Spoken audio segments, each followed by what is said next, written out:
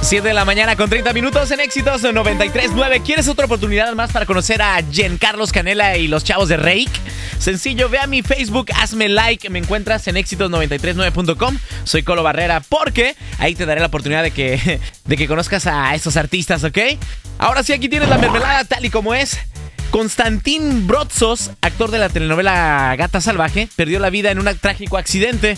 Esto pasó el domingo a la madrugada en Miami. No se sabe qué pasó, pero el auto quedó embarrado en un poste. Viajaba con más amigos y él perdió la vida. Tenía 19 años.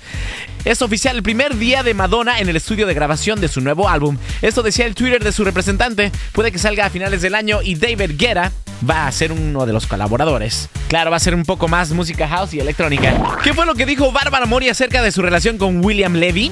Nada, evitó a la prensa para no ser cuestionada. Esto fue en un evento donde su hermano estaba presentando su CD. Checa, Bárbara, cuéntanos, ¿cuál es tu relación con William Levy? Estoy feliz de que estén todos aquí apoyando a mi hermano. Qué bueno que sus canciones les gusten. Esta fue la mermelada tal y como es.